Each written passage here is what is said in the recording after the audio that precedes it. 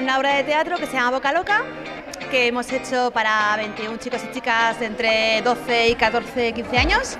Y bueno, es una obra de playbacks, es un festival de playbacks donde hay músicas y eh, películas, canciones, bueno, un poco de todo, sin interrupción durante una hora y diez minutos.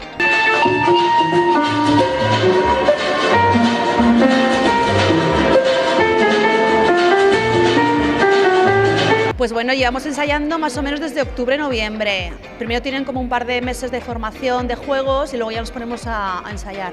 Pero como tenían ellos los exámenes en diciembre, decidimos dejarlo para enero febrero y que, y que fueran más tranquilos, porque es importante que estudien, lo primero de todo, y luego que hagan teatro.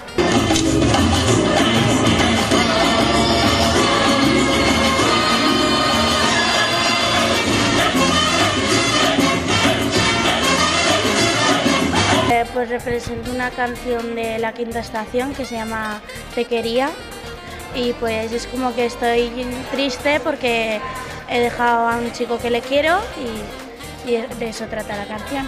Hago muchas cosas, entre ellas pues una canción que se llama Confusion, que bueno, no me acuerdo del nombre del autor, pero bueno, y también hago, interpreto un personaje de la serie de Friends, también y muchas cosas más. Sobre todo hago eh, más canciones que, eh, que diálogos o actuaciones y también hay una canción en la que hago gestos eh, como para los mudos y también canto.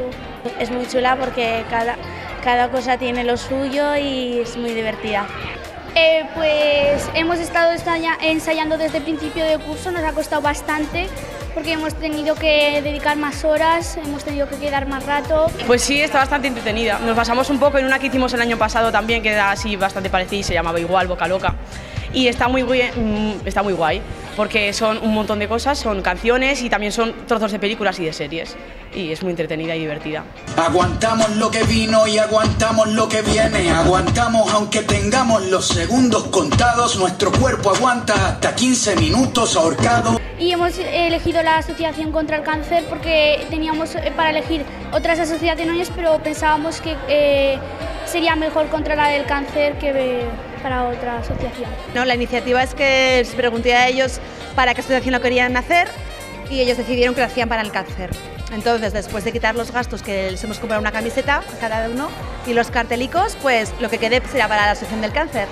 Estamos muy agradecidos porque la gente se preocupa mucho de este problema y entonces colabora mucho con nosotros. ¿eh? a través de esto y a través de otras cosas que hacen normalmente. Y las cucarachonas es una de las que verdaderamente siempre, siempre cuenta con nosotros. Y es muy es de agradecer, la verdad es que sí.